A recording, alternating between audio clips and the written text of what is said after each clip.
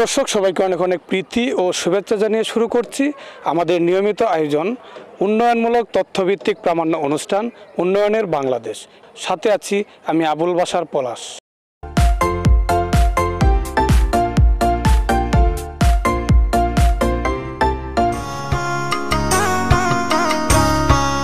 Gazipur city corporation, বাংলাদেশের মধ্যাঞ্চলের গাজীপুর জেলায় অবস্থিত স্থানীয় সরকার সংস্থা। এটি বাংলাদেশের একটি পৌর প্রশাসন ও স্বায়ত্তশাসিত প্রতিষ্ঠান। বাংলাদেশের সিটি কর্পোরেশনগুলোর মধ্যে গাজীপুর সিটি কর্পোরেশন প্রতিষ্ঠাকালের দিক থেকে কনিষ্ঠতম এবং আয়তনের দিক থেকে সবচেয়ে বড় city corporation. Gazipur city corporation দুই হাজার তেরো সালের ষোলো জানুয়ারি প্রতিষ্ঠিত হয়। গাজীপুর সিটি কর্পোরেশনের আয়তন তিনশো উনত্রিশ দশমিক তিপ্পান্ন বর্গ কিলোমিটার। গাজীপুর সিটি কর্পোরেশনের জনসংখ্যা প্রায় পঁয়ষট্টি লাখ। সাতান্নটি ওয়ার্ড নিয়ে গাজীপুর সিটি কর্পোরেশন গঠিত। আজ আমরা তুলে ধরব গাজীপুর সিটি কর্পোরেশনের এক নং ওয়ার্ডের উন্নয়ন চিত্র।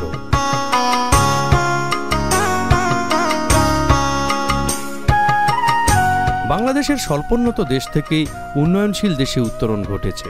জাতিসংঘের অর্থনৈতিক ও সামাজিক উন্নয়ন নীতি সংক্রান্ত কমিটি বাংলাদেশকে উন্নয়নশীল দেশে উত্তরণের যোগ্যতা অর্জনের আনুষ্ঠানিক ঘোষণা দেয়। শেখ হাসিনা সরকার উন্নয়নের এই ধারাবাহিকতা ধরে রেখেছে।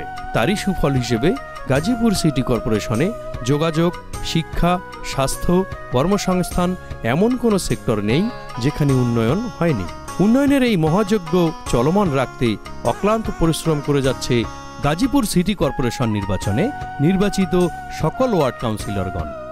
এ উন্নয়ন কর্মকাণ্ডের একজন অংশীদার হিসেবে কাজ করে যাচ্ছেন এক নং ওয়ার্ডের কাউন্সিলর উসমান গনি লিটন।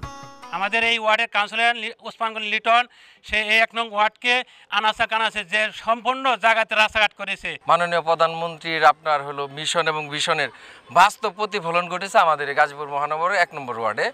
প্রতিটা রাস্তা প্রতিটা অলিগলি এখন আপনার বিভিন্ন আরসিসি ড্রেন সহ বিভিন্নভাবে রাস্তাঘাট হয়েছে সুপরি প্রশস্ত রাস্তাগুলো হয়েছে।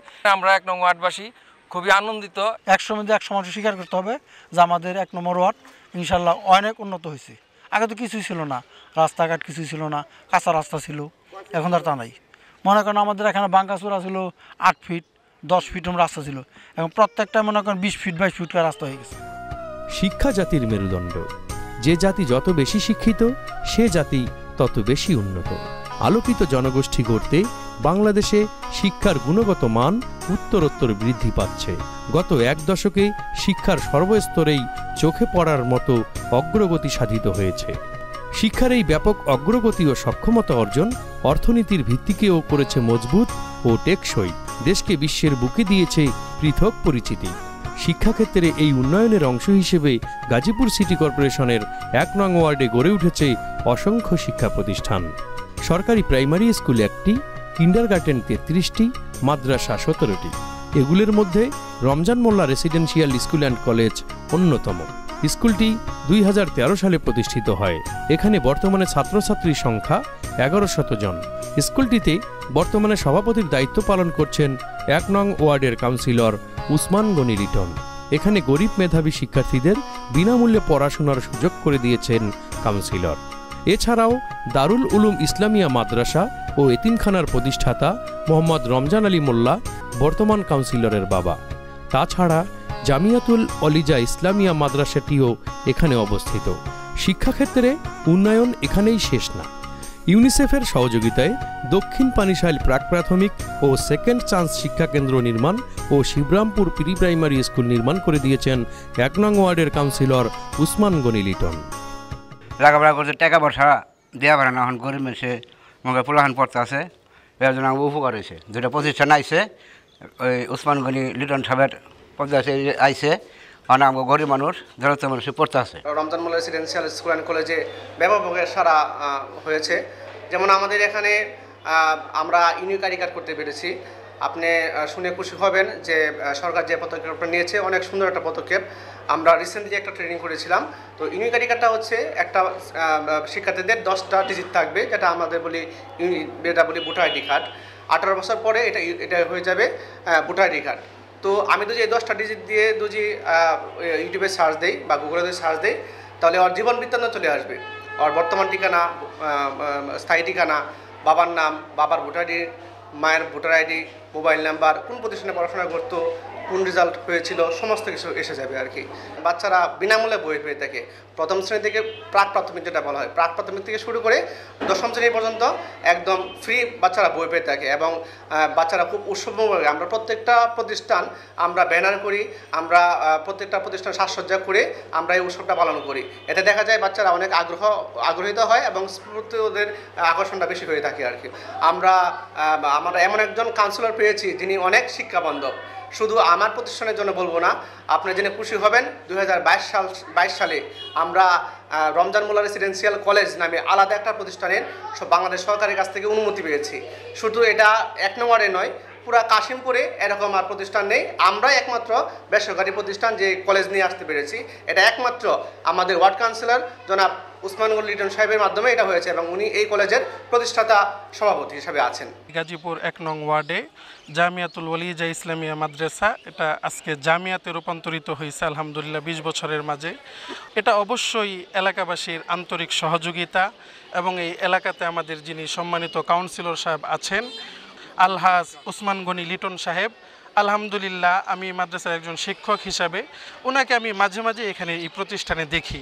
উনি এদিকে আশপাশ কোথাও কোনো প্রোগ্রামে গেলেও এখানে আসার, বসার চেষ্টা করেন এবং আমাদের মাদ্রাসা থেকে যখন ওনাকে আমন্ত্রণ জানানো হয়, তিনি সবসময় আসেন এবং উনি আলহামদুলিল্লাহ, আমরা মাদ্রাসার পক্ষ থেকে কোনো বিষয় ওনার সামনে পেশ করলে এটাও উনি সমাধান করার চেষ্টা করেন।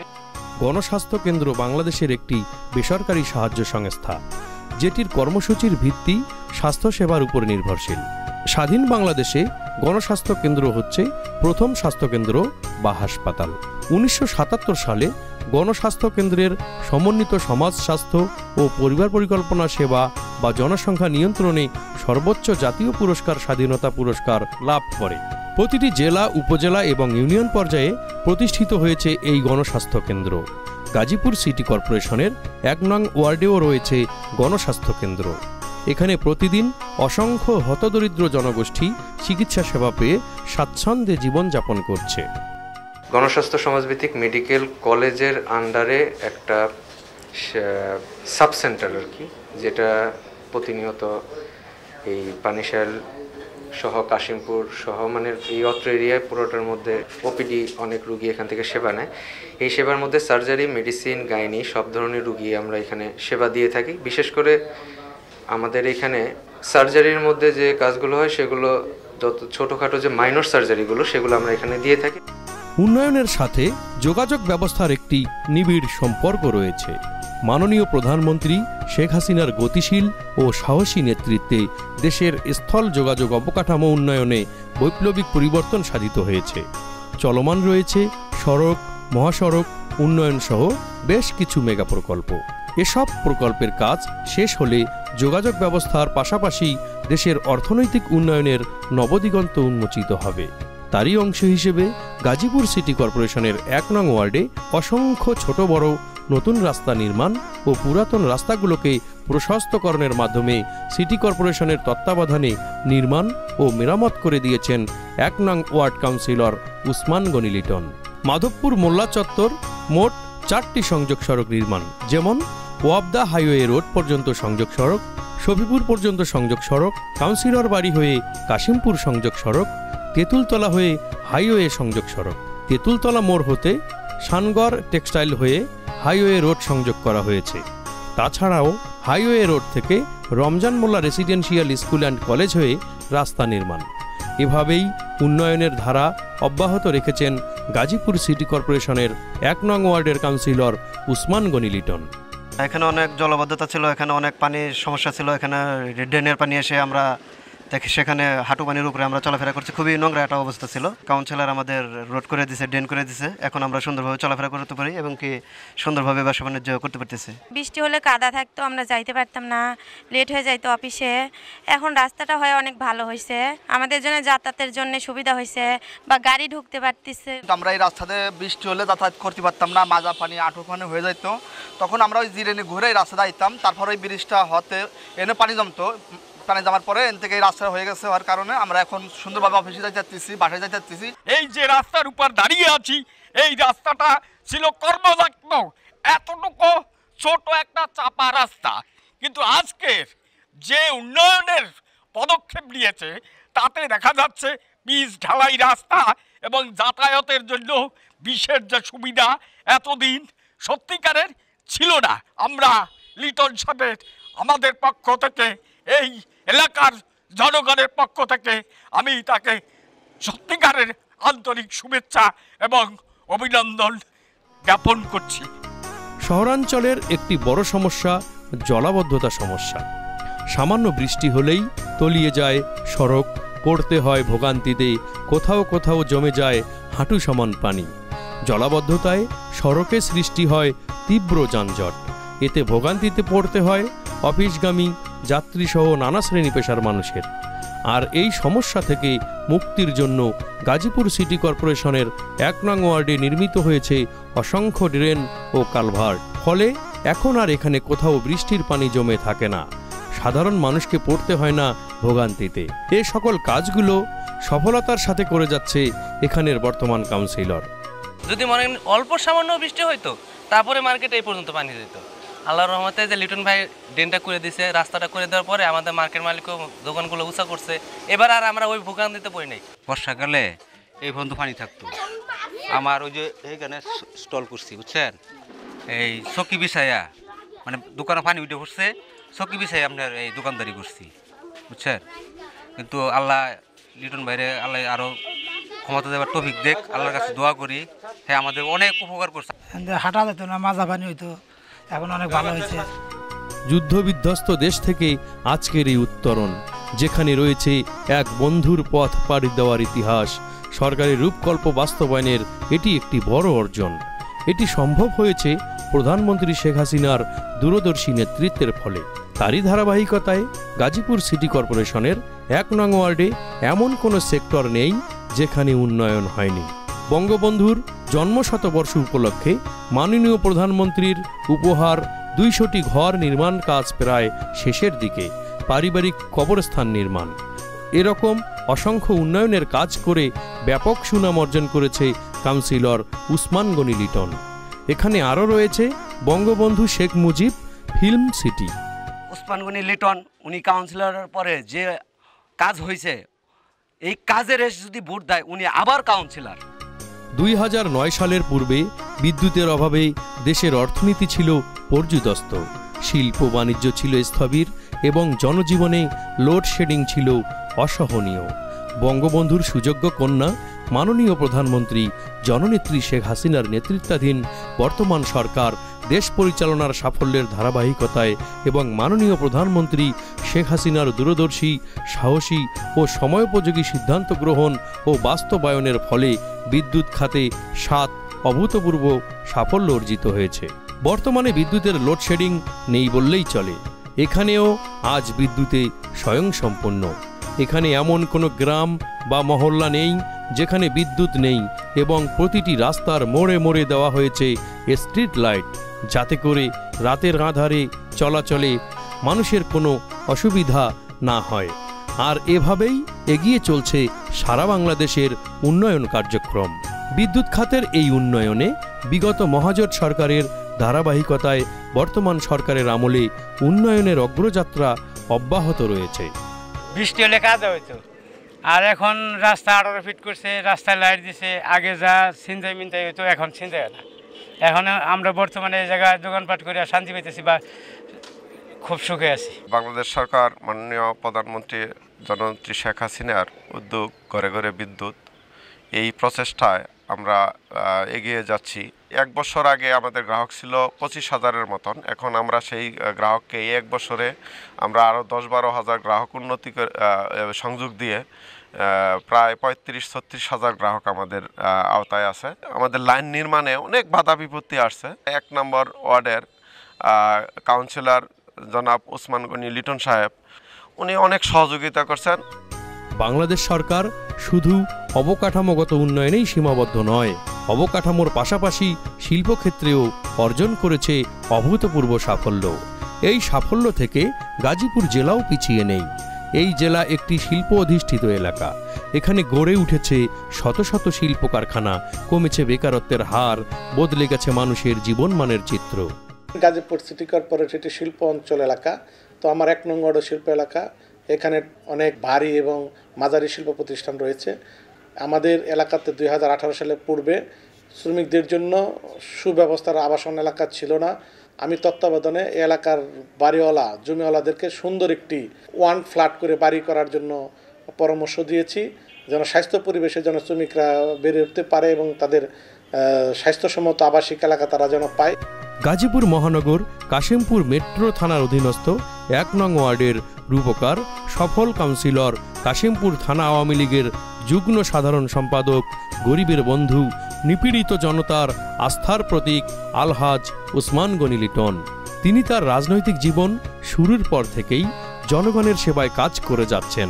কাউন্সিলর নির্বাচিত হওয়ার পর থেকেই তিনি যেন উন্নয়নের এক মহাকাণ্ডারী হয়ে উঠেছেন। আস্থার জায়গা করে নিয়েছেন সাধারণ জনগণের মনে ও প্রাণে। দুই হাজার তেইশ সালের নির্বাচনে আবারও তিনি কাউন্সিলর পদপ্রার্থী। তিনি যদি পুনরায় নির্বাচিত হতে পারেন তাহলে যে সকল অসমাপ্ত কাজ আছে, সে অসমাপ্ত কাজগুলোকে সমাপ্ত করে দিয়ে এ ওয়ার্ডকে একটি আধুনিক ও মডেল ওয়ার্ড হিসেবে উপহার দেবেন। এমনটাই মনে করছেন উসমান গনি লিটন। এই সিটি কর্পোরেশনের এক নম্বর ওয়ার্ড কাউন্সিলর হিসাবে আমি যখন দায়িত্ব পাওয়ার গ্রহণ করি, তখন থেকেই এই গাজীপুর সিটি কর্পোরেশন একটি মাস্টার প্ল্যান অনুযায়ী কাজ করে যাচ্ছি। আমার ওয়ার্ডে প্রায় বত্রিশ কিলোমিটার রাস্তা এবং সাত কিলোমিটার আরসিসি ড্রেন সহ চলমান রয়েছে এবং প্রায় এই রাস্তাগুলো এবং ড্রেনগুলো সমাপ্তির পথে। তো এই উন্নয়ন করতে গিয়ে মানুষের ঘর বাড়ি ভেঙে দিয়ে, রাস্তা জমি দিয়ে মানুষ উপকার করেছে একটি সুন্দর আধুনিক বাসযোগ্য ওয়ার্ড হিসাবে। গাজীপুর সিটি কর্পোরেশনের এক নং ওয়ার্ড, আপনারা যেভাবে দেখে আসছেন, দুই সালের পূর্বে এই অবস্থায় ছিল না। খানাখন্দে ভরা একটি অগোছালো, অপরিকল্পিত একটি আবাসন এলাকা ছিল। আজকে সেই অগোছালো, অস্বচ্ছ একটি ওয়ার্ডকে একটি আধুনিক রূপে, রূপ দেওয়ার জন্য রূপান্তরিত করেছি। মানুষের সহযোগিতার মাধ্যমে, বিশেষ করে আমার এক নং ওয়ার্ডের স্থায়ী বাসিন্দা, তাদের এই সহযোগিতা করেছে। বিশেষ করে আওয়ামী লীগ সহ সহযোগী সংগঠন কর্মীরা আমাকে সহযোগিতার মাধ্যমে আজকে এই সুন্দর রাস্তা করার সুযোগ করে দিয়েছেন। ইউনিসেফের সহযোগিতায় প্রি প্রাইমারি স্কুল এবং দুটি প্রাক প্রাইমারি স্কুল এগুলো করেছি। আজকে থেকে প্রায় দু বছর আগে আমাদের গাজীপুর সিটি কর্পোরেশন একশো পার্সেন্ট বিদ্যুতের আওতায় আমরা আছি। এটা তো গাজীপুর জেলাসহ আমাদের মনে হয় গাজীপুর মহানগরও আমরা এটা একশো পার্সেন্ট বিদ্যুৎ আয়নের আওতায় আছি। বিভিন্ন রাস্তার মোড়ে সিসি ক্যামেরা এনে ছিনতাইকারী থেকে রক্ষা করার জন্য লাইটিংয়ের ব্যবস্থার মাধ্যমে যোগাযোগের সুন্দর একটা মাধ্যম করে দিয়েছি। কাশিমপুর মেট্রোপলিটনের অফিসার ইনচার্জ সহ সকলে সহযোগিতা করেছেন। মানুষের মৌলিক চাহিদার মধ্যে স্বাস্থ্য একটি মৌলিক চাহিদার অন্যতম। তো স্বাস্থ্য সুরক্ষার জন্য আমাদের যেহেতু এক নং ওয়ার্ড একটি জন গণস্বাস্থ্যের একটি স্বাস্থ্যকেন্দ্র রয়েছে, মানুষকে এই স্বাস্থ্যকেন্দ্রের সেবা নেওয়ার জন্য সহযোগিতা করি পরামর্শ দিয়ে থাকি। মাদক মুক্ত সমাজ গড়তে হবে। জিরো টলারেন্স রয়েছে। মাদক বিক্রেতা এবং সেবনকারী সবাইকে আইনের আওতায় এনে আমরা আইন শৃঙ্খলা রক্ষাকারী বাহিনী সহ, ওয়ার্ড কাউন্সিলর সহ, এলাকার গণ্যমান্য ব্যক্তিবর্গদের নিয়ে মাদক বিরোধী আমরা বিভিন্ন সেমিনার করে থাকি। জননেত্রী শেখ হাসিনার মিশনকে বাস্তবায়ন করার জন্য প্রায় বত্রিশ কিলোমিটার রাস্তা এক নং ওয়ার্ডে হয়েছে। আর কিছু রাস্তা বাকি রয়েছে। এখানে প্রায় আরও সাড়ে চার কিলোমিটার রাস্তা রয়েছে এবং সাত কিলোমিটার আরসিসি ড্রেন হয়েছে। বঙ্গবন্ধুর জন্মশতবার্ষিকী উদযাপন উপলক্ষে কোনো মানুষ গৃহহীন থাকবে না।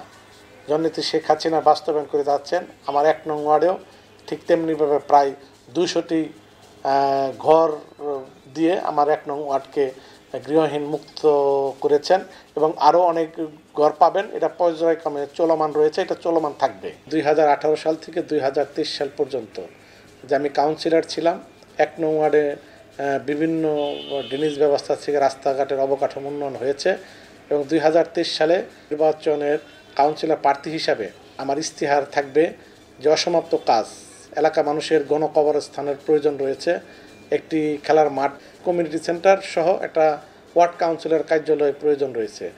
এই অসমাপ্ত কাজ করার জন্য অবশ্যই দুই হাজার তেইশ সালে যে নির্বাচন হবে, এই এলাকার মানুষ আমাকে মূল্যবান ভোট দিয়ে সেই অসমাপ্ত কাজগুলো করার জন্য সহযোগিতা করবেন। কাউকে পিছনে ফেলে নয়, সকলকে সাথে নিয়ে এগিয়ে যাওয়ার দর্শনটি আজ বাংলাদেশের অগ্রগতির অভিযাত্রায় অন্তর্ভুক্তমূলক উন্নয়নে শেখ হাসিনা মডেল হিসেবে সমাদৃত, যা আর্থসামাজিক উন্নয়নের ধারাকে নবপল্লবে বিকশিত করে একটি ক্ষুধা, দারিদ্র্যমুক্ত, আধুনিক ও উন্নত বাংলাদেশ বিনির্মাণের পথকে সুগম করেছে। সকল সমস্যা মোকাবিলা করে দুই সালে এসডিজি এবং দুই হাজার একচল্লিশ সালে উন্নত বাংলাদেশ গঠন করাই এখন সরকারের মূল চ্যালেঞ্জ। দেখতে দেখতে আমরা অনুষ্ঠানের একেবারে শেষ প্রান্তে চলে এসেছি। আবারও দেখা হবে অন্য কোনো এলাকার উন্নয়ন কর্মকাণ্ড নিয়ে। সে পর্যন্ত ভালো থাকবেন, সুস্থ থাকবেন। এই প্রত্যাশা রেখে বিদায় নিচ্ছি। আল্লাহ হাফেজ।